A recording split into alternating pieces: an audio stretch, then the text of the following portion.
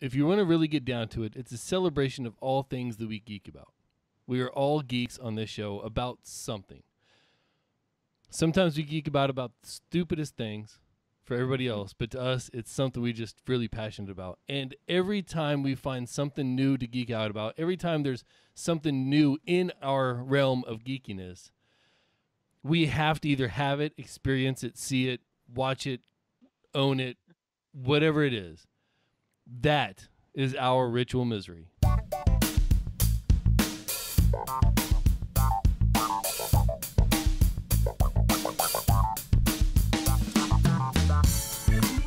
Hello and welcome to the Ritual Misery Podcast, episode 116 for the Thursday, the 23rd of February, 2017. This is a show where two lifelong friends talk about geek shit and whatever else comes to mind. I'm Amos, that's Kent, and Kent, man, um, I gotta, I got, I gotta ask. Yeah. We we might actually have, if not by tone of inflection of voice, at least by substance and and um, uh, uh, communication, like uh, just the amount of communications, maybe the the the most self deprecating guest we've ever had. This man, according to him, he has zero talents and zero reason to be here, which, in my opinion, gives him all the reason to be here. But we know him and love him as Movie League Mike.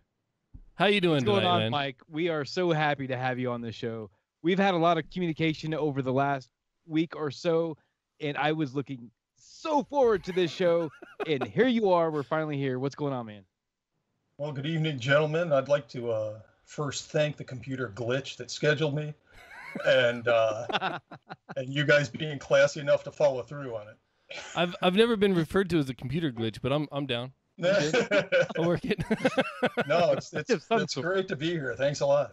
This is uh this is one of those times when we we've had a lot of chat realm on here and a lot of Diamond Club and I know this that's like the Venn diagram is practi- practically two circles encompassing each other, but um we uh there are certain certain people that we just don't know anything about. Like we've never seen them on a show or we've never really gotten to to talk to them a whole lot in chat room or otherwise.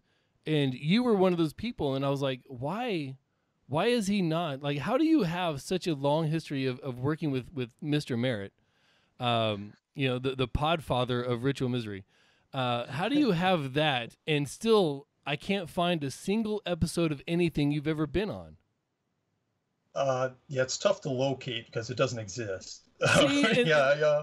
that's that's Uh, that's done that's over people are gonna, people are going to be able to find this and embarrass you for years now That's exactly what I was afraid of. uh, no, but because I don't, I don't get into like uh, chat as often as I'd like to, because most of the time goes to the writing now, and I know if I get in there, that's all I'm going to be doing. Mm. So I, uh, yeah, I kind of ration it. And a lot, most of the stuff based, you know, with my hours, it's a, it's all podcast version. I don't get to do a whole lot of the live stuff. Uh, I'd love to do more. There's so many geeky things I'd love to do more of.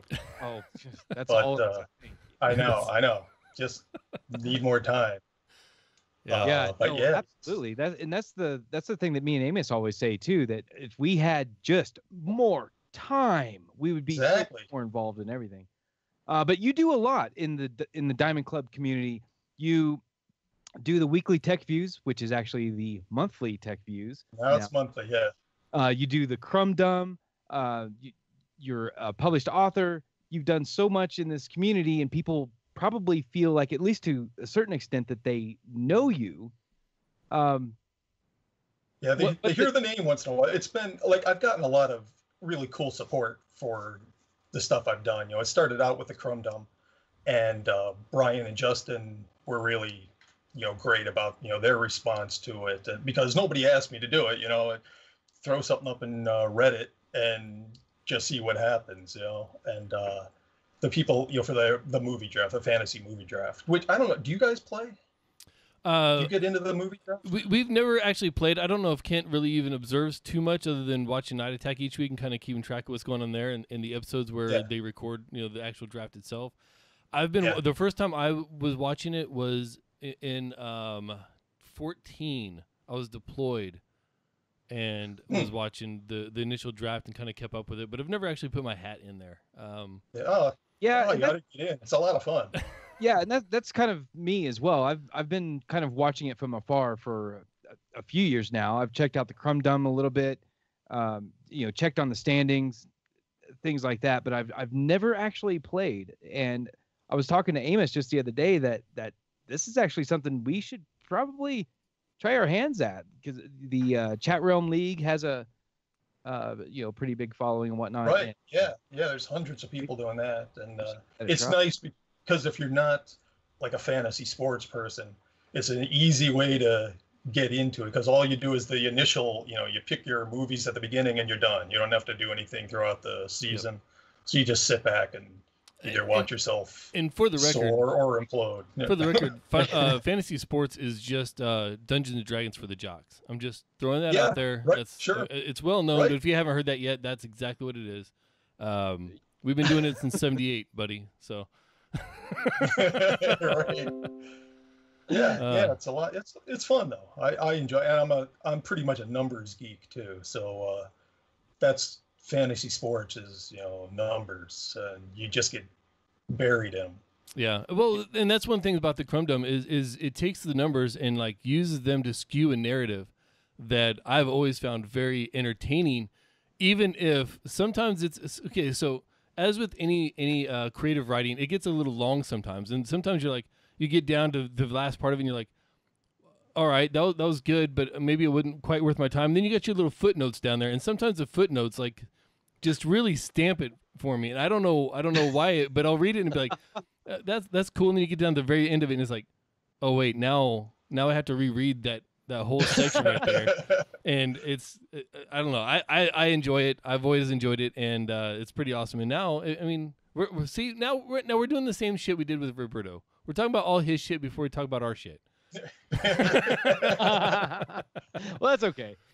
Um, so gentlemen, how has your week been? Uh, well, I checked out a, a really weird movie this week. Have you guys heard of or seen Swiss Army Man? Heard of? Yes, not seen. Is that well? Is that Radcliffe? Daniel Radcliffe? Yeah, it's got Daniel Yeah. Radcliffe. It's got you know grown up Harry Potter in it as a dead guy. Yeah. Um, yeah, so- one thing in particular about it, but uh, I'll let you uh, go ahead. yeah. Well, I wasn't gonna say a whole lot about it. It, Yeah. it it's it's a super weird weird movie. Like it's kind of a I don't know, like falls in that art category, I guess, uh, because it's it's telling this narrative in a very non-traditional style. It, it's basically about a guy that's uh, he's he's stranded on a desert island at the beginning, and he's trying to kill himself, but then he sees a body wash up on the beach, and it's uh, Daniel Radcliffe, and he decides to not kill himself and go check out this dead guy, and they become best of friends throughout the next hour and a half. Of course. oh And uh, Okay, I, I don't want to I don't want to spoil it because at the end it the the story becomes something different, and I don't want to ruin what that is. But if you can make it through this weird journey, I, I think it's got a good payoff and kind of like an aha moment at the very end. What, I heard was not. Uh, I'm sure this isn't a, a spoiler. I, ho- I hope this isn't a spoiler because if this is big, it's uh, going to be a disappointment to people. But uh, you've referred to it as an art film, and what I heard rhymed with art. Uh, but about uh, Radcliffe's performance. yes, there, there are quite a few fart jokes. and and the thing about it is the main actor that I can't, I can't remember his name off the top of my head but I heard a story that he took this role based on a one sentence pitch from the director that was something along the lines of uh, the first fart in the movie will make you laugh and the last fart in the movie will make you cry. Oh wow, and the guy was like okay sign me up. I'm doing it. That's acting. Look, sometimes some sometimes the twelve year old you has to come out. All right. uh, no, it was actually pretty good though. I mean, it, like I said, it's non-traditional. It's kind of weird, uh, but if you can handle that sort of thing. Uh, yeah, check it out. It's, it's actually pretty cool. It's on. Um, is it on Netflix? It's Some- either on Netflix or Amazon. it's on one of the the services, streaming right? services. um, Mike, you had a staycation. What's going on with that? Yeah, well, it's uh, it's over now. But uh, the end of last week, it was the end of that. Uh, it was it was good. Staying home a lot of times is sometimes the best vacation uh, for us. Uh, but the uh, we got out. We left the house maybe twice. Once uh, to go to the zoo nearby. We have a pretty nice zoo in Cleveland, and uh, we p- picked like the better day of the week, like mid 40s and it's nice. The animals are a little more active usually, but a Tuesday in February, uh, the zoo isn't what you call crowded, which is nice. You get around wherever you want. You're not elbowing people away from the railings, but it also means they employ about six people, and uh, they're all bored as hell. And you get within 50 feet of them, and they're at your side, and you've got 10 facts about an elephant, you know, before you know it. and you you take a step away and they slide along with you and 10 more facts about the elephant. Uh, but i mean it was nice. It was it was a good day except those six people none of them work at food concessions on a tuesday in february. Apparently it's not worth opening those up because they've got a they've got a big restaurant they've got a mini pizza hut and mcdonald's nothing open so we got there 10 in the morning uh, figuring we grab something there at lunch, and uh, five hours later, like I uh, I tweeted out when I was there that uh, after five hours, no food, the uh, the vegetables that the lemur's sitting on start to look pretty appetizing. Go to the, But the after that, oh, throw sorry. something. yeah. yeah, Uh, Yeah. After that, it was back home and uh, made up for it by pretty much eating nonstop the rest of vacation, while uh, binging everything we could uh, get our eyes on. Uh, Um, Mr. Robot, uh, Sneaky Pete, and something was really funny. Uh, Santa Clarita Diet. oh, It's a new show on Netflix. Uh, Drew Barrymore. yeah. A lot funnier than I expected. It was really good. My my wife That- just watched that. Like, she watched the entire what, what first season or whatever that's on there. Yeah, like eight she, episodes. She's yeah. like, she was like, it's awkward. I don't know if I like it. and I'm like, but you watched the whole thing. She goes, yeah. And I wondered the entire time if I liked it. you know, I, I did watch the first episode of it, and I I will say the same thing that that um, Mike said about it is that it's definitely funnier than I expected it to be. Mm. Because yeah, Stephanie really wanted to watch it. My girlfriend Stephanie wanted to watch it, and she begged and pleaded me with me to watch at least the first episode.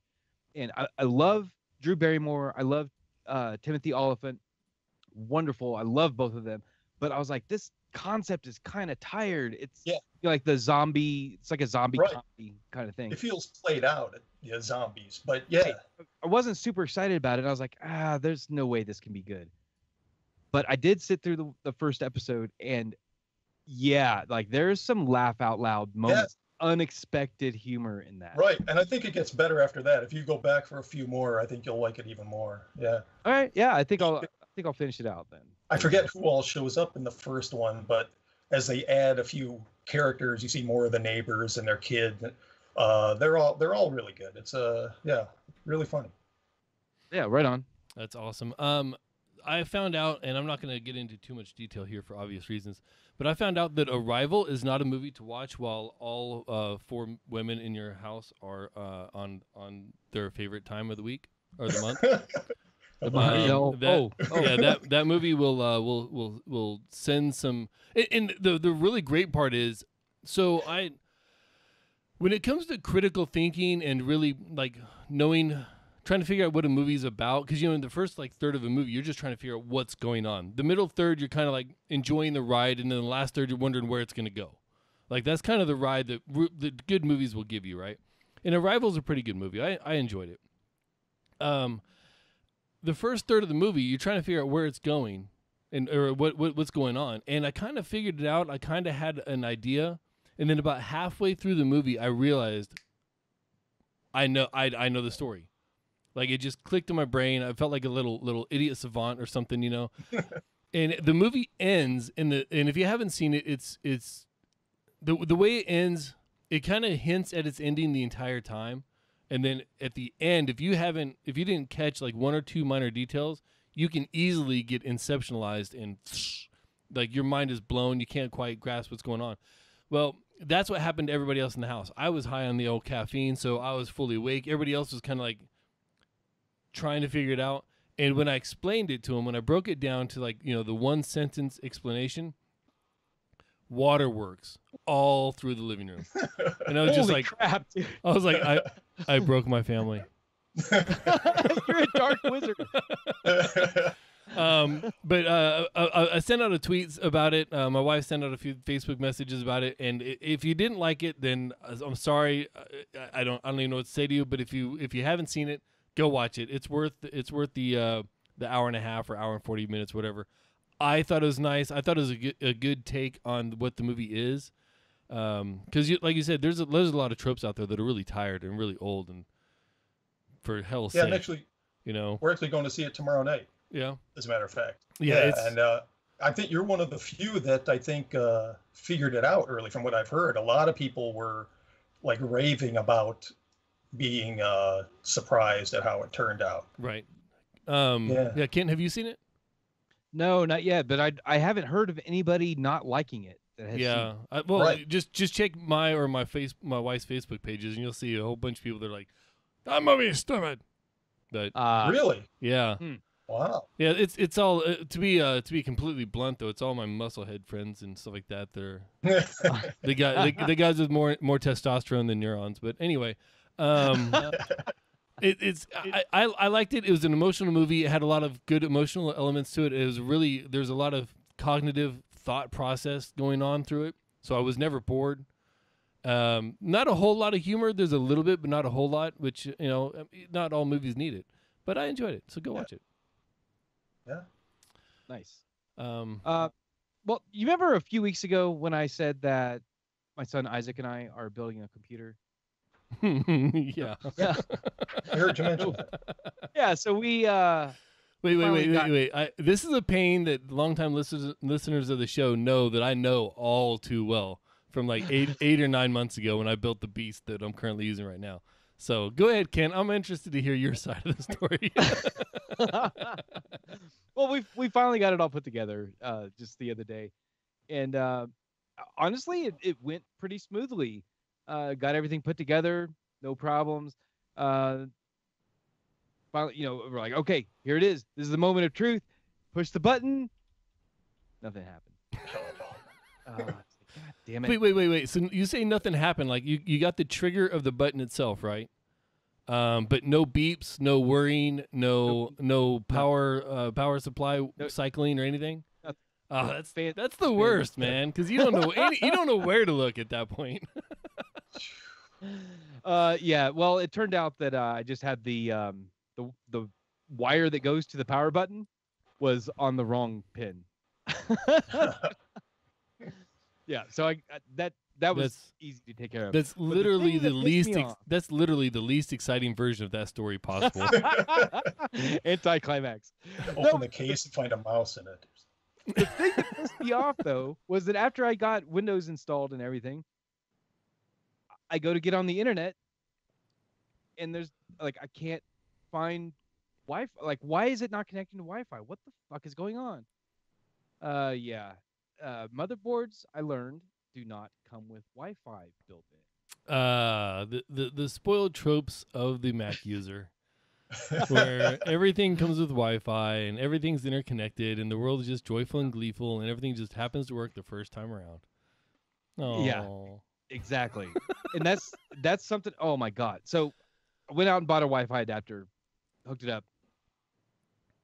I wish I could say that there was no problems, uh, but installing third-party software on Windows made me fucking realize why I hate Windows so much and love Mac so much. You kind of buried the lead there with the everything works the first time. That is I warned Stephanie because Stephanie gets bad when uh, we go all Apple fanboy, but I warned her that this is an episode where that's going to happen, so she might not want to watch. Wait, But I i- is that why she's not in the chat room? That very reason, you turn on your your Apple for the first time, and amazingly, everything works. And if it's a new machine, you're you you're a previous Apple user, but it's a new Mac or new MacBook or something like that. The first time you log in to your Apple ID, you, you, all you got all you got to do is just sit back because everything is just done for you. And uh anyway, okay, I'm gonna stop. I'm gonna stop. But it's building character. Are you, Um, Mike, are you a are you a, a Windows guy or a Mac guy? Windows. Windows. Only be, I mean, because that's what I started with. You know, it's the first computer I had, and right. just you know stayed with it. Uh, you know, you everybody that uses a Mac, you know, raves, and every once in a while you get a little inkling, ah, maybe give it a try, but it just seems uh, a little too much to convert everything. Right. Yeah. No, I, I completely get that, especially now with with everything being online. Uh, you have Yeah. an account for everything. You've got a certain like a you know portfolio of apps. Once you're in an ecosystem, it's Right. really hard to switch. Right. Yeah, I have. We have uh, you know iPads, uh, so we we're in that much of Apple's ecosystem, and I can't. I couldn't imagine changing that now with everything you know as many apps as you accumulate and and then going to you know a nexus or something uh, going to android that that just seems daunting too Mm-hmm. yeah. um, Do you use an iPhone as well? yes yes Okay. just yeah. recently actually we we aren't a real big phone uh, couple to begin with for the longest time all we had was one in the glove compartment of the car just you know we don't want to get bothered when we're out and trying to do something else you know so we had something there for an emergency but yeah the last year and a half or so i finally uh, broke down started carrying one Yep. You're you're one of the masses now. gotta check them tweets, man. You gotta check them tweets.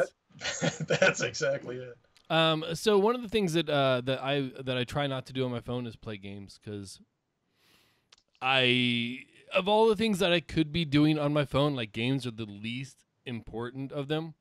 However, I have to state, since since you brought up brought up phones and, and stuff, and I don't know if it's available on Android or not. There's a game. I'm gonna try to flash it in front of my in front of my camera here whenever it finishes loading up. There's a game that was the app of the app of the week last week.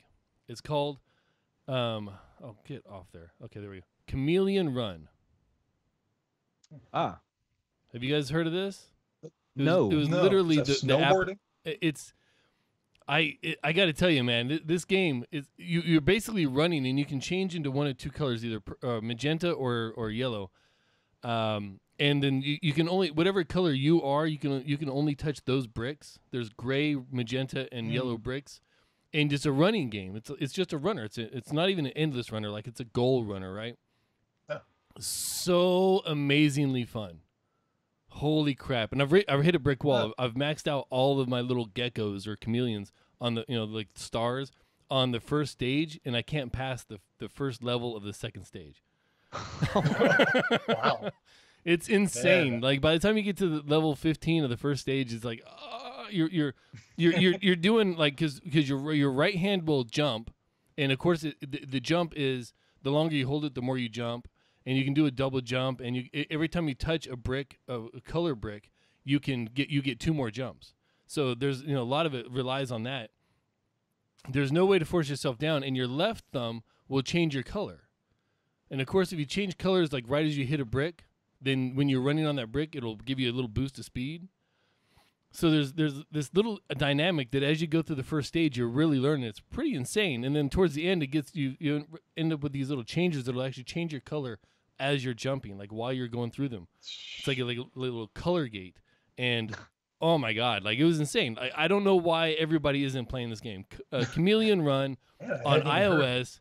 So much fun. It was free last week. I don't know if it's still free or whatever. Even if it was like like two ninety nine, it's still worth it. It's it's less than half a cheeseburger. Like, do it because it's it's gonna take about three hours of your life.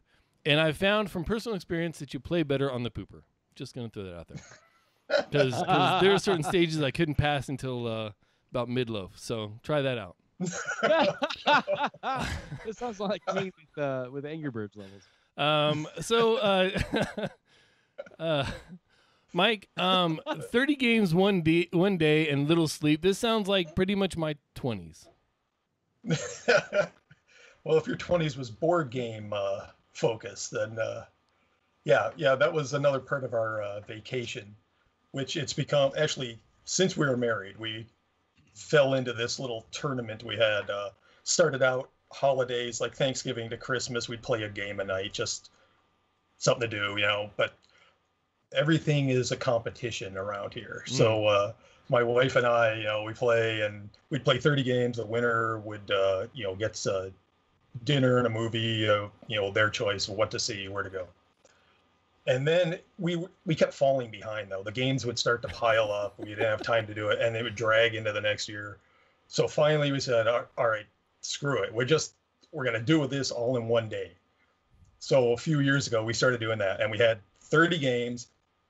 I don't know now if your uh, tech issues, uh, you know, don't allow this now, but I I sent uh, a photo of our game our game tower, um, just to give you an idea what you know what we were doing in a day but it's all at the dining room table you know nothing electronic it's all uh, board dice cards uh, and we try to get going early in the morning like eight o'clock and if we get going at eight we're done about two in the morning. Uh, so we have 18 hours sitting at the table but it's it's a blast. I mean we just uh, it's a lot of fun. You eat drink taunt each other play a bunch of games. Last year uh, my wife won, beat me on uh, on a tiebreaker. We tied 15 all, and uh, she I don't know if you're familiar with the game Bop It, mm, little yep. handheld. Yeah, yep. she she beat me on that. Uh, so uh, she got to wear this last year. Oh, championship shirt, and uh, I got to wear this. Oh no. we had to uh, we had to wear it when we went out to our dinner and movie, and uh, the next time we got together with our families. So this year I uh, exacted a little revenge, which made vacation that much uh, sweeter. But it's a, it's just it's a lot of fun. You get away from you know, as much as I'm you know, doing my tech thing. Uh, this is a nice you know anti-tech break. You know, just uh, sit around while it's miserable outside, and uh, just have a lot of fun. Yeah, and um, uh, so so well, I, ha- I have the there, I have the picture. I have the picture. Um, let's go ahead and bring this up real quick. And uh, like, wow, man, that yeah, is a, a, lot of games. I, I tell you what, Mike, it was a lot of fun to follow on Twitter as well. Uh, yeah, I saw you replied a few times. Uh, I was yeah, when I you were basically live tweeting like every yeah about every five games, but yeah. Now I'm, yeah, I'm looking yeah. in here. You you got you got battle for for the audio listeners. You got battleship, aggravation, sorry. Uh, looks like frantic. It's got frame it. Frame it. Okay. Quandary, picture picture, Pokeno. Anybody's guess. TriBond, which I that's that's actually a pretty fun game. Outburst, one of my favorite games of all times. Uh, Scattergories, a game that I've only ever actually played with Kent and his first wife in in in Japan. Um, really? Yeah, it, it, it didn't turn out very well because it was, it was me and him versus our ex-wives. Um, oh God, yes, I remember that. Yeah, that that, that, that well. Um, it it yeah. So don't do that. By the way, if, if don't do that, if just don't don't don't play husbands versus wives. It's it never works out. Um, yeah. Uh, anyway, uh, so I see a lot of them on here that a sequence sequence is actually a pretty tough one. Um, man, Boggle, hell yeah, Boggle. Boggle, oh, hell yeah. yeah. Look, you look like looks like you had a tin up there. Is that Trivial Pursuit up there? Um, I think there is Trivial Pursuit a little lower. I think that's a oh, Bunko. Oh, okay. Tin.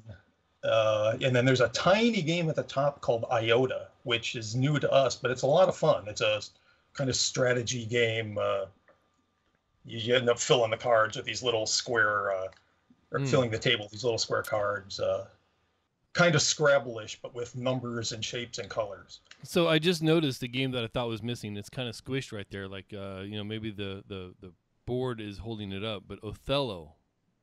Oh Othello yeah, yeah, it is, is squished. It's very old game. you, you know, you know, my, my my grandma and I didn't have the best of relationships.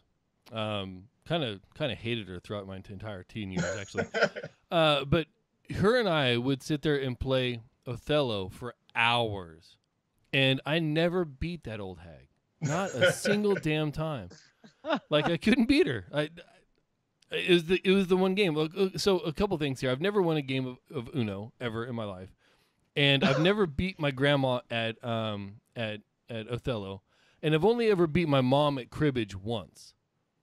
And of course, I never played her again after that because like you know you try to go out on top right um so yeah there's the little little uh little backstory behind me but anyway there you go um i think it's pretty awesome i i really wish my my family would be more into board games i can't get them off the ps4 phone slash space space uh That's, so that's us too. I mean, we if we didn't set that day aside, we used to do it a lot more. But then you get iPads and computers Yeah. and uh, getting off of Twitter or uh, or Mission Pick uh, takes some effort. um what's the game with the trains? What game is that? Oh, the one that ticket uh, ticket to ride. Yeah, we, we have ticket to ride for ipad and sometimes I'll, I'll shoot that out there and we'll play a round or two of that and uh man the kids get so angry. No matter who wins everybody else is pissed off because everybody thinks they have the line going and they didn't see that one path. That's actually a fun game. It's on ipad and if you got the little family playing thing going you can you can go against each other on that and that's a lot of fun too. So i, I recommend that one. It's a board game done digitally. Perfect translation. Perfect translation. I know that's that's really popular. I think. I doesn't uh, Wil Wheaton uh, Yep, on his uh, yep. that's where his, I, yeah, that's uh, where i initially saw it was him playing on his his game channel yeah yeah Um, yeah, really fun game, and I, I think the digital version is actually cheaper than the board game, which makes it even better. oh yeah Um, but yeah, it, it perfect translation. Like it, it- there couldn't be a better translation between a game and a digital version. So I recommend it. Um, so my uh, my thing this week, other than trying to play Chameleon Run and and uh, get stuff working around here, I made about a dozen T-shirts.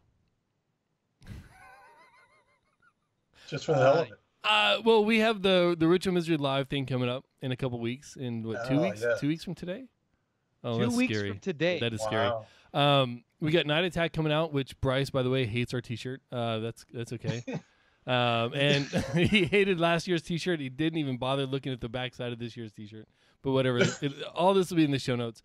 Um, yeah, but uh, it, it got down to like the after show at, at Night Attack. We were sitting there playing uh, playing uh, Jack Jack Attack or Jack Box or whatever. Mm. And every time there was a meme that came up in that, I made a T-shirt for it. So. Uh, we'll have a link in, link in the show notes, but there's a ton of T-shirts out there that you can probably only buy, and they'll they'll all be one-offs, and they're all done at the bare minimum cost allowed. Which is I found Teespring is actually the cheapest place to make T-shirts.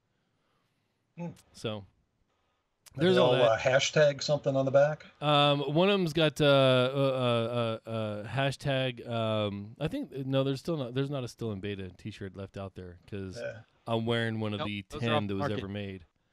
Um, yeah. Uh, there's a uh, uh, what, what's the one release candidate? Hashtag release candidate is going to be the one for our live show.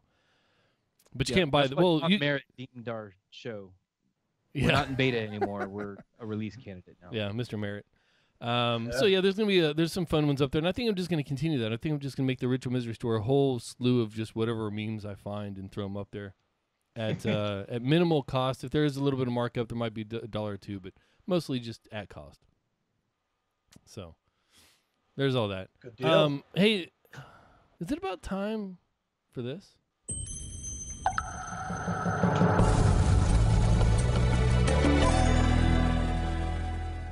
Hey Kent.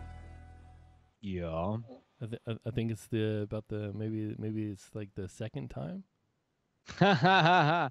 yes. Well, my whole thing used to be that I would find a talk where Amos was not able to pronounce the speaker's name. Uh, I kind of changed my tactic and and started just listening to talks that I really want to listen to. Makes for a better segment at least. But this is like this is like the second time ever that both of us and our guest all watched a TED Talk. We all have a TED Talk. wow. It's amazing. Usually, usually when our, our guest has one, me and Kent, me, me or Kent will flake out and be like, "Uh, yeah, we should just watch like a dozen of them, and have them queued up. Like that's what we should do, Kent. Like if we were Right, smart, yeah, that's what yeah. we do." Um, so don't fear super intelligent AI by Grady Booch. Um, Fun when- name. you want to tell us about this, uh, Mike? Uh, yeah, uh, Grady is a systems engineer at IBM, and uh, he's you know trying to allay our fears of uh, you know Skynet and such. Uh, he uh, is working on a like the Mars mission with NASA, and he you know feels they need to design a a, a HAL like computer because like as I learned from watching The Martian, you know, communicating from here to Mars, you know, is re- very delayed, and uh, so they feel like they need something on board as a type of mission command that can travel with them, but one, as he put it, that isn't homicidal. Right. So, That's uh, important. Right. And it's, uh, you know, I want to uh, believe his uh, approach to this that, you know, we don't have to worry about the rise of the machines. But there are a couple of things that kind of give me pause uh, with his presentation. He lists uh, various things that, you know, we have to be able to do to accomplish this and then and to accomplish it in a safe manner you know we have the computing power and we can uh, we can interact with the AI in a uh, natural language. So he's checking these things off. Uh, then he gets to uh, we need to be able to uh, install or instill a uh, ethical and moral foundation.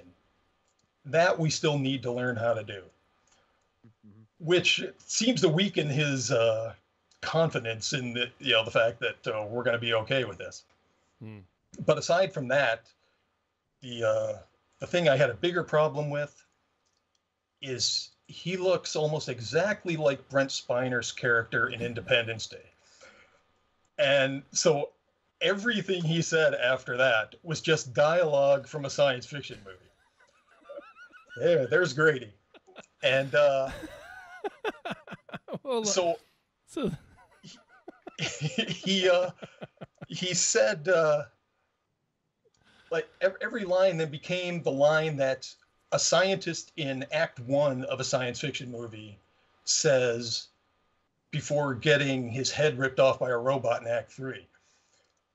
Uh so it just it it just became uh impossible to accept his premise. Hmm. he which you know is me. It's me being shallow. But uh i, I couldn't get past it uh, bes- uh, he also you admits that he disagrees with people like elon musk and uh, stephen hawking hawking who think differently about this but still it was a resemblance to uh brent spiner that uh i couldn't get past Yeah, I'm, the- I- the I'm not going to be able to unsee that.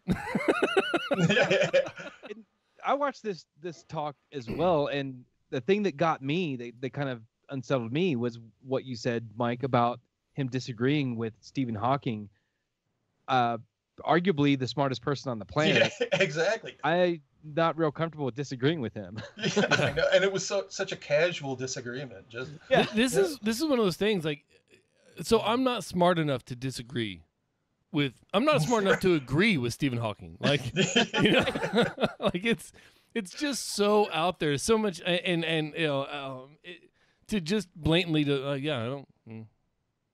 yeah. yeah, they've got their thoughts. I have mine. Yeah, I'm probably right.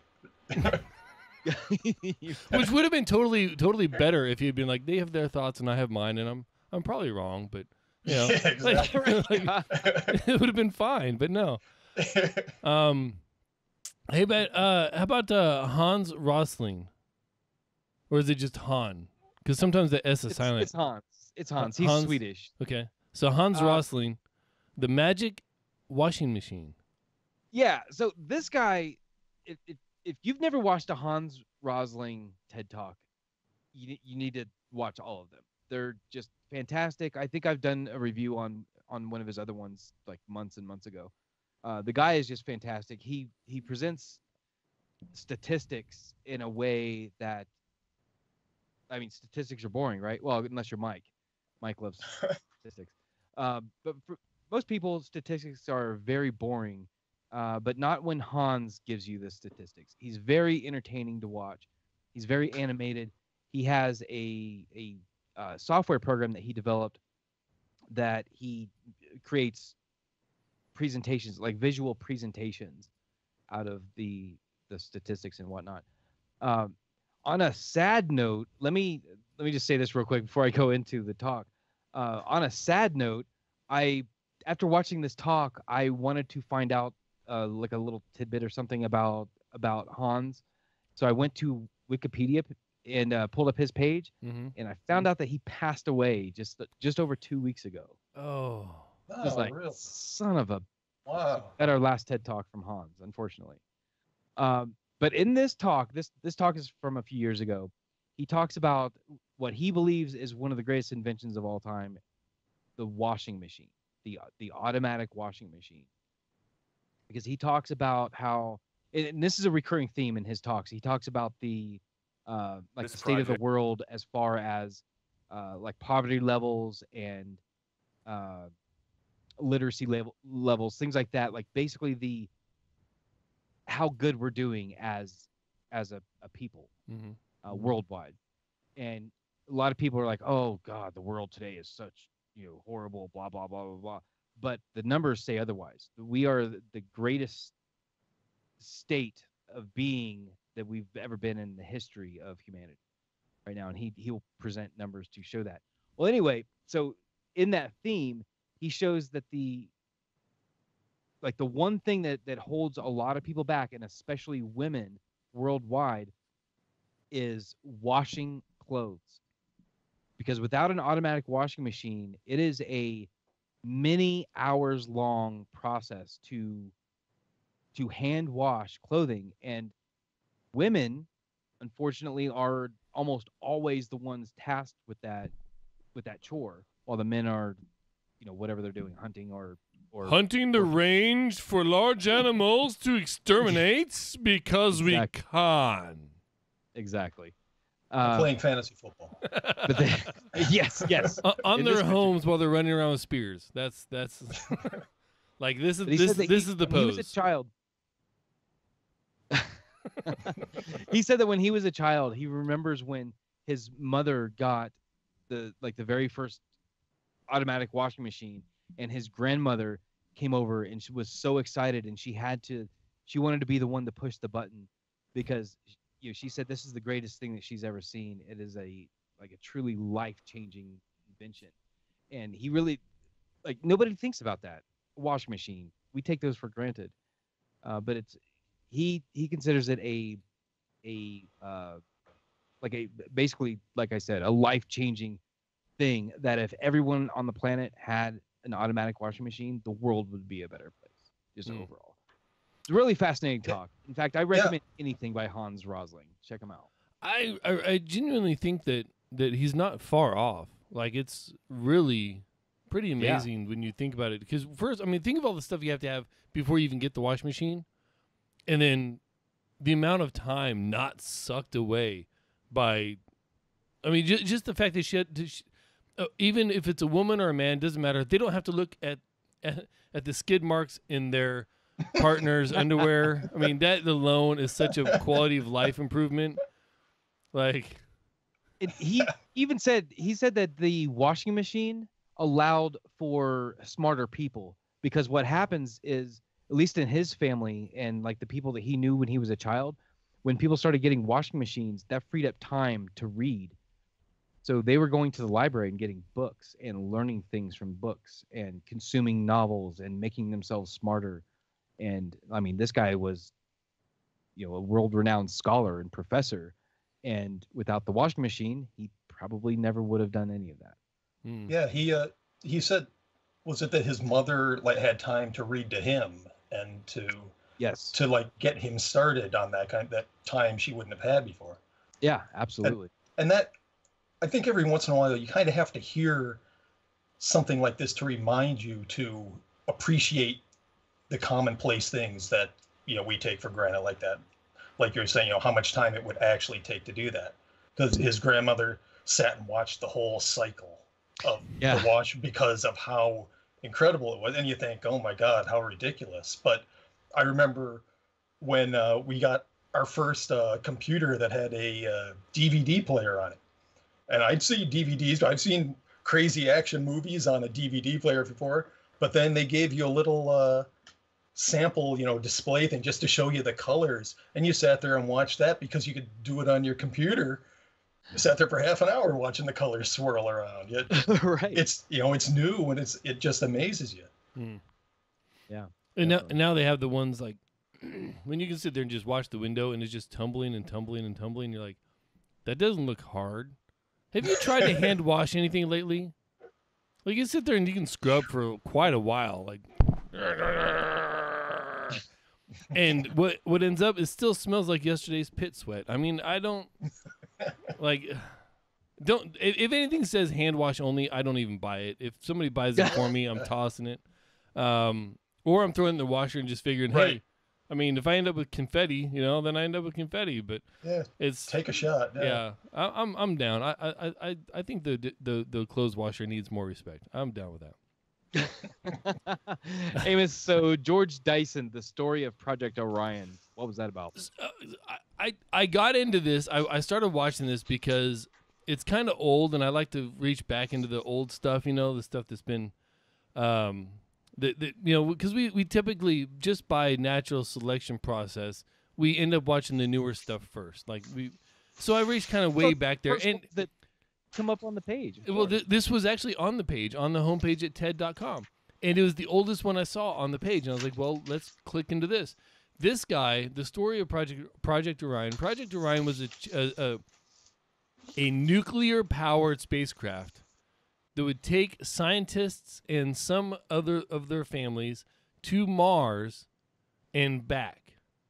And not like nuclear powered engines. Like they were spitting um, rocks out the back of their of their ship and blowing them up, as in like dropping a nuclear bomb behind the the spacecraft, letting it explode, and that would propel the, the spacecraft forward.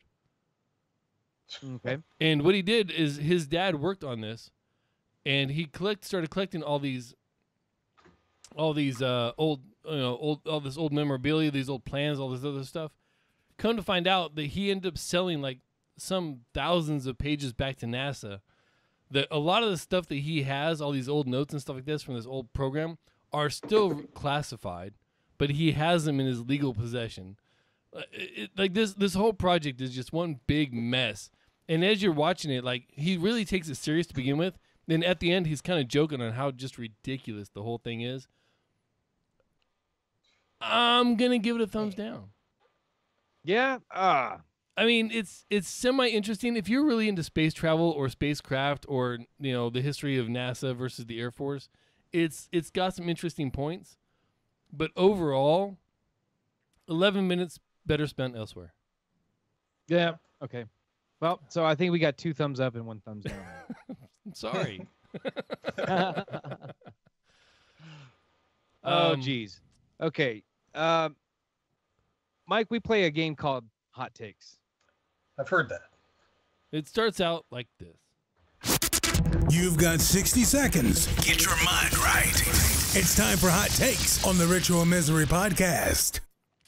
Fucking love. It. So that basically, the way this is going to work is I'm going to tell you a topic, typically followed by "Am I right?" and then you have roughly 10 seconds or however long I I the, decide. arb- the arbitrary period of time in which he's willing to listen to whatever you have to say. and you can say whatever you want. You can rant and rave, whatever it is you want to do, whatever you want to say about that particular topic until you hear that sound, and then you stop talking, and I give you the next topic. Are you ready? I suppose so. All right. Wolverines. Am I right? Wolverine. Uh, well, for everything I uh, hear about uh, Logan is uh, it's probably going to be the best of the Wolverine movies. It's uh, superfluous to the movie draft. It turns out, as uh, Brian has already uh, crushed everybody, so now he's just going to crush everybody harder with uh, with that. Mr. Roper or Mr. Furley? Oh, ah, Mr. Roper, I believe. Uh, it's it's tough to top the original. I, I Don Knotts is uh, is uh, great in a lot of roles, but uh, I think uh, Roper is, is the Three's Company king. Tom Merritt, am I right?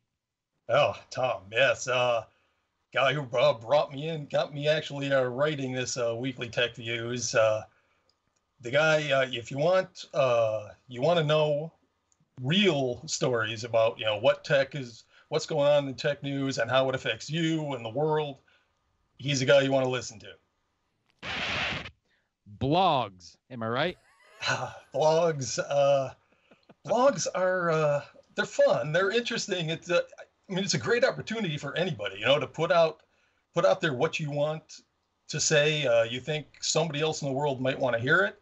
It's uh, you know, we we live in a great time to give you know give us all that opportunity as easily as as we can. Ritual Misery Podcast, am I right? Ritual Misery Podcast. Uh, you guys, I think, are like the embodiment of Diamond Club. Uh, it's I think you're a great example of what the the community is. You know, you like I was saying with blogs, you want to put something out there, you do it, you put some work into it, and this is a community that appreciates it. You know, they aren't they aren't going to consume anything anybody puts out, but you got to have some skills. But you guys, you guys do an entertaining podcast. Uh, people dig it. I, I like how Kent let you go for like a minute and a half on us. Like that wasn't that Sometimes I let wasn't self promotion at all. Like is that is that our new way of getting uh getting uh, uh quotes about the show from people? Is that what's going on Damn there? right it is. Should I start cutting that segment out and letting giving it to you for commercials and shit? Oh man, thank you for the kind words, Mike. That's Oh, sure. You know, actually, I was uh, I was thinking about doing it with the Oscars coming up this week about doing like an Oscar themed crumb dum for the movie draft, and I I was visualizing what this would actually look like in real life on a stage, and you guys are who I pictured as being like the MCs of the whole thing. oh, that'd wow. be sweet. Just- I'm down. Just because you know that I, I really think you guys are like the personification of Diamond Club. I yeah, I really do. That's so. So that's that. I, I, I'm just gonna address the elephant in the uh, in my room because it's kind of small. I need to get it out of here. Um, that's not the first time we've heard something like that, and that, uh, I I can honestly say that nothing has made us prouder to be part of Diamond Club, to be accepted into Diamond Club, especially on DiamondClub.tv, where we stream every Thursday night at 7 p.m. Pacific, and to have someone like like you and Jury and and people like that just have have that to say like, hey, these guys, Diamond Club, this is what this is all about, Diamond Club, and nothing makes me happier with it. So that's pretty awesome. Yeah. Yep, that's no doubt. Because I mean, before anything else, we are fans of Diamond Club, and if we can give back in any way at all, I mean, I think what we've kind of become is like the the platform for other uh, Diamond Clubbers, chat roomers, or whatever to come on and and geek out with us. Um, Yeah, exactly. I'm, I'm super proud to be able to do Um, that, and that's Hey, um, real quick, I've got one more thing for you, and Mm. talk about geeking geeking out. Have you guys seen this, the Kyber light? uh, I looked quick when I saw you would put it uh, put it up. I I I can't get enough of this. This looks amazing. these Hello. are the Welcome to uh, Kyberlight, like home high quality. greatest custom buildable lightsabers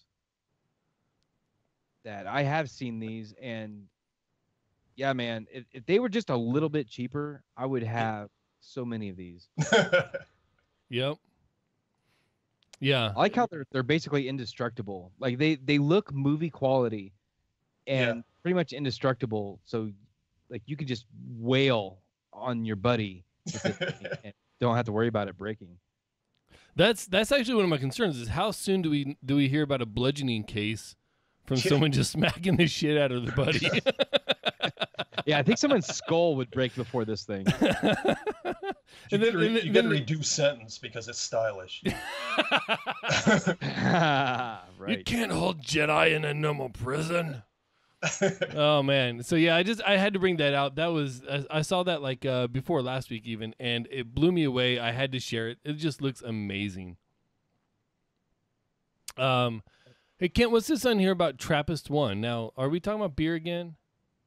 Well, see, that's that's something about this. All right, so NASA discovered. Well, they actually discovered these a little while ago, but they they just announced a few days ago that they discovered a solar system that's about 40 light years away from our own that has seven, not just one, two, three, four, or five, or six, but seven Earth-like planets orbiting around this one sun that I mean absolutely unprecedented. We have never found anything like this in in our galaxy or anywhere. Hmm.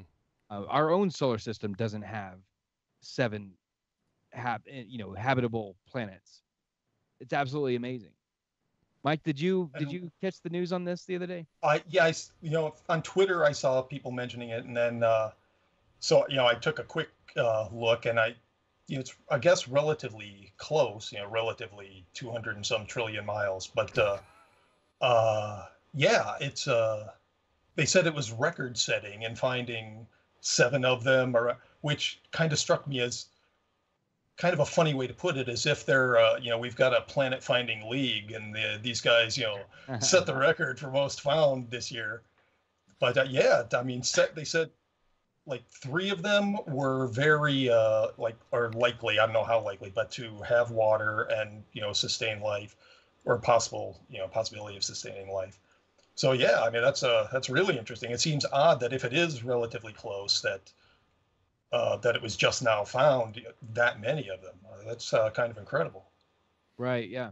And one of the things that that me, at being a beer geek, one of the things that struck me about this is that the star is called Trappist One, and uh, which it kind of makes sense because it was a, a Belgian laboratory that discovered this, and most of the the Trappist breweries are actually in Belgium.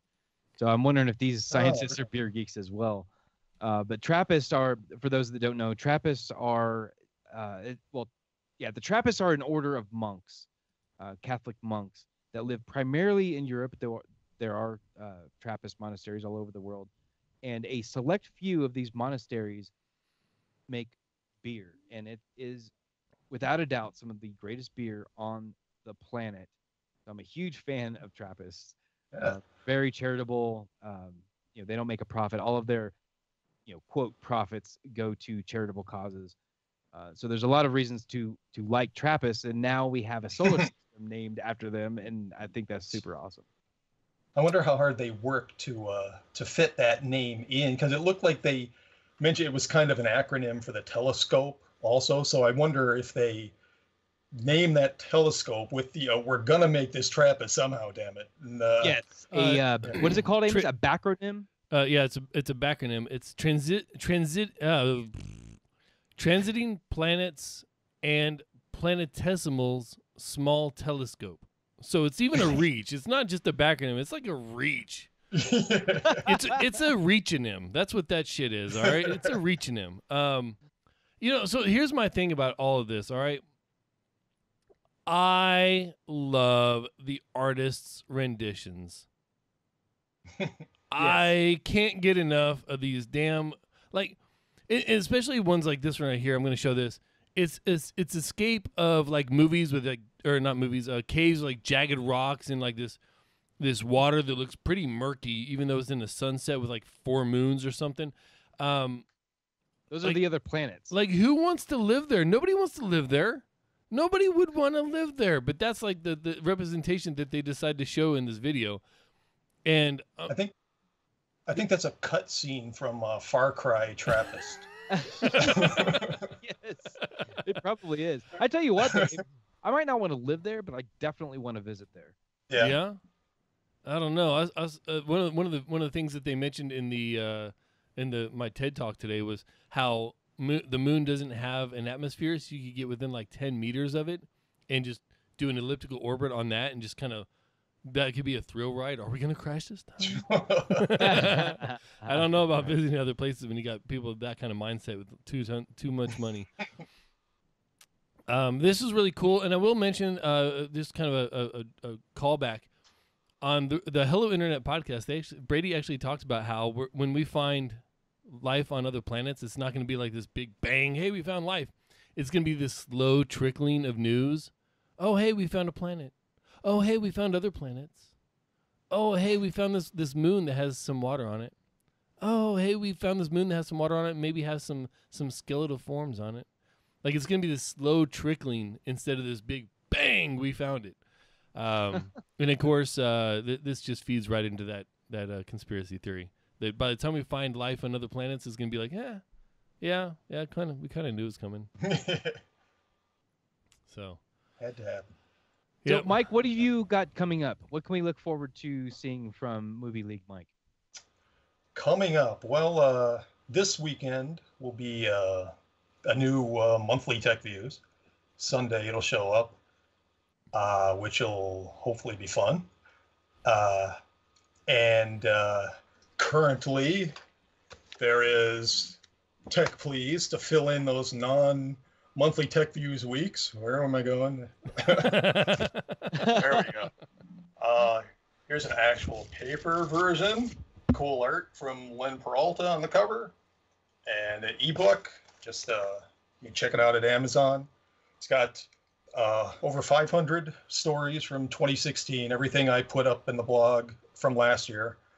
Uh, oh, then this week's the monthly tech views is at dailytechnewsshow.com on Sunday, and I uh, realized an interesting coincidence with that uh, with the book having over 500 stories in it.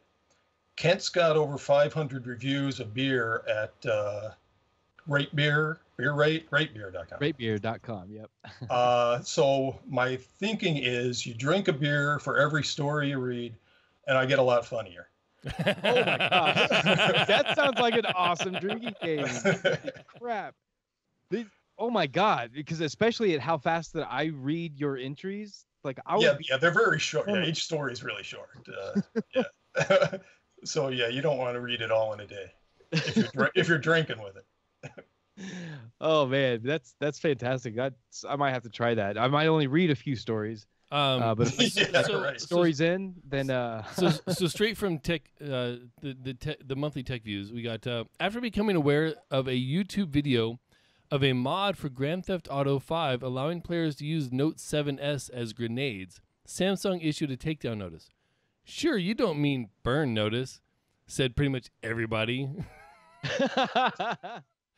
little The- clips the like Note that 7 yeah, the Note 7 was like a, a gift to anybody writing about tech last year. That uh, is probably 20% of the book from last year because it just Mhm. just kept coming.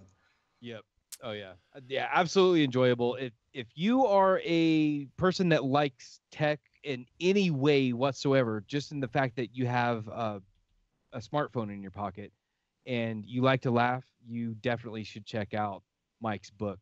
Um, and there will be links to all of that stuff in our show notes. Uh, check that book out.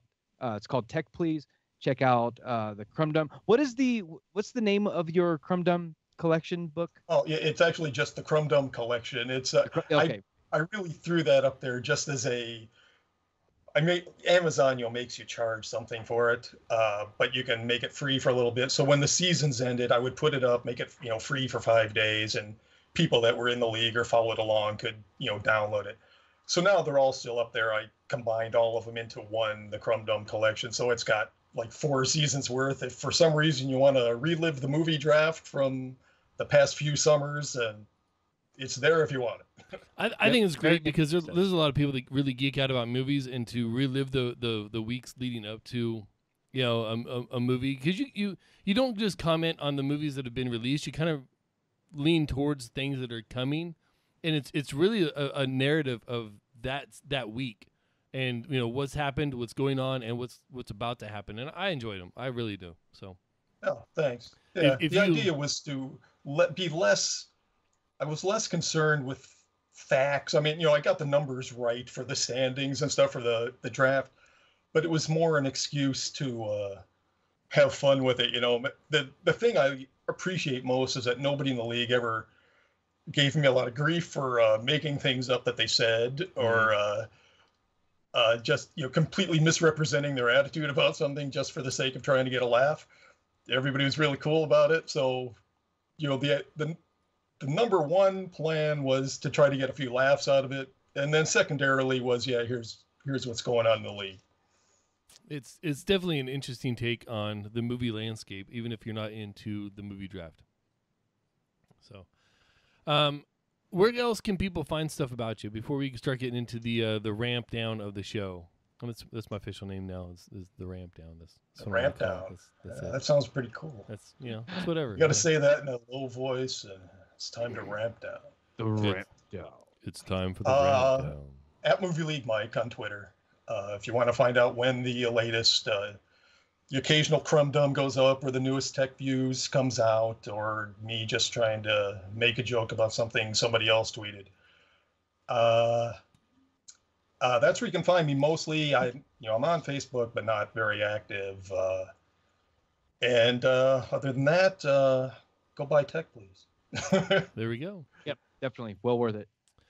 Um, hey Kent, we got uh, we got one more thing left, and I know it's it's my turn to read this week, but I'm gonna I'm gonna Yeah. I'm gonna leave it So, to you to read. I'm, I've got a nice little introduction for it. Oh, do you? Okay, I was about to introduce it. So Well, uh, go, so- go ahead. Go ahead. Set so here's here's the thing. We we all know movie league Mike as the movie league Mike. Like that's what we know him as. That's that's what he, he does the movie league stuff. He does the, the, the not just the crumb down, but the the, the the the monthly tech views now and and um you know he, he's always trying to make us laugh. But there was a, there was a time that Mike was more serious. There was a time when he didn't have his his sights on the movies. He actually had his sights on TV and and it was it's a shame, but things like TV Guide they'd kind of kind of went away. I mean, nobody really reads that stuff anymore, and it's because they didn't embrace the mic of the world.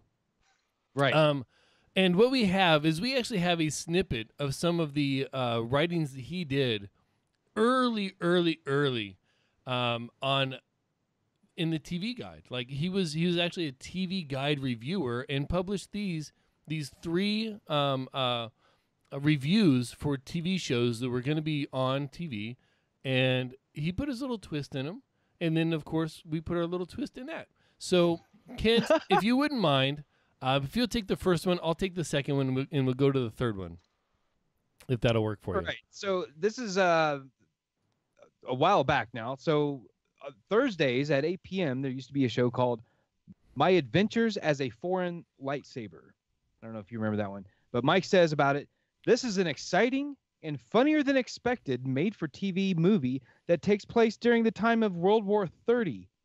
We give it a rating of three weeks. That's that's not that's not a bad rating. Now, um, that that next day, Friday at 7:30 p.m., um, Happy Windows was on, and it's uh when an old school homicidal AI welcomes him with open brains and throws him a mid loaf party. This puts Jackie Hearn, his former ecosystem friend, into a bad state of noggin. um, uh, you know that's Right. That series should have lasted longer. yeah, it, it, you know true. it's True. yeah. I mean, I mean, four, fourteen seasons wasn't enough. They needed they needed at least sixteen to really tie it up well. But then the following night, Saturdays at 10 p.m. And this is We a good had- one. This I actually I actually saw this. This is available on Netflix right now. Like you can you can go Right on on. Netflix and watch this right now. Yeah, check it out. It's called Where Have All the Planets Gone? Mike Hmm. says, This safe thriller by the indestructible director Wil Wheaton is about a Manhattan blog searching for a missing person in a small spaceship. I mean, why wouldn't you want to watch that? Who would not watch that? I'm just saying. Like Log PI, yeah. th- these are these are great uh, great reviews here you had, Mike. I don't I don't understand why this Yeah. didn't catch on. This Thank you. this really should have. It's you know the advancing technology. It, otherwise, it would it would have gone. But you know, who wants a TV guide anymore? Yeah, yeah, Yeah, you no. know, you you got you got you got to kind of play that game. Um, so if you'd like to like to chill out with us in person and witness that disaster, we are going to be at Darwin's Pub in two weeks. Two weeks from tonight, actually. Two weeks from from Yep. tonight. That's in Austin on 6th Street. Mm, yep, yep. Wonderful Um, Darwin Pub. They have excellent food. oh yeah. good drinks, uh, uh, amazing staff, absolutely fantastic staff. Uh, they and they've got a stage that usually has bands. Uh, on this particular night, two weeks from now, They're gonna have a band. well, they are, but before the band, probably the warm up to the band is going to be a first ever event a live ritual misery? Um, nothing will make you appreciate a local band like a bad comedy show. So come on out. Uh, we're gonna be there from about four to seven. We should be we should be doing our live thing from si- five to about six ish ish ish, and uh, we'll have some drinks. We'll have some uh, some some food, and we'll even have some swag out there. Hopefully, if I order that shit tonight, because we need to we need to get on that. And uh, of course, that's gonna just be the kickoff to the Diamond Club event known as South by So Wasted. Uh, Saturday Night Attack Live. Uh, yeah, drinks, parties, meet all the Diamond Club friends, have fun, and come see our show. Yep, it's gonna be a blast. Can't wait. Before that, though, next week we have none other than David Majors on the show. You might know him as DJM. Or or just call me DJM. Right. I Yep, mean, so that's looking forward to that. What else you got Um, for us, Mike? You got any uh, final thoughts? Uh, just uh, thanks again for uh, having me on. You guys are great. Uh, made this uh, first podcast experience uh, really comfortable and fun. Awesome. Yeah, we were super excited to get you booked on here, and you've been absolutely wonderful. So thank you so much for coming on. podcasting Oh, wow, my cherry, pleasure. podcasting cherry, pop. Top.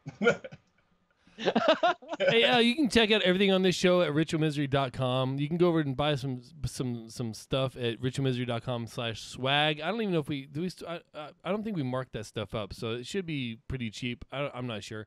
Anyway, you can find Kent at uh, rm underscore underscore. Wow, that's so hard word to say. Yep. RM underscore Del Noche on Twitter. That's That why it's the his name. Yes, that is the best place to find me. if you're a beer guy, follow me on Untappd. Also, that's uh, username is Del Noche on there. All right, you can find me at Ethan Kane. I'm going to push this little button right here, which is going to cause some music by um, uh, Kevin MacLeod over at Incompetech.com to come up. And you can find everything you want to know about the show at ritualmisery.com. Email us ritualmiserypodcast at gmail.com. And man, it's been an awesome show.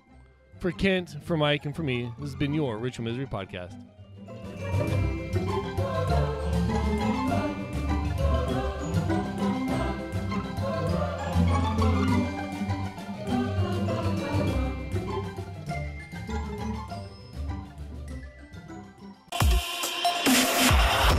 Club hopes you have enjoyed this program. And that's a show. Awesome. All right. Oh, Takes me a very while. To get, cool. takes me a while to get used to that new stinger, the new Diamond Club stinger. Oh, yeah, yeah. Well, nobody, because nobody else is using it. I don't understand why, but nobody else is using it. They're still using the original, just just Brian and Justin thing. That's that's not Yep. as fun, much fun to me. Who who provides a new one? Um, I think Sergeant Muffin put it together actually.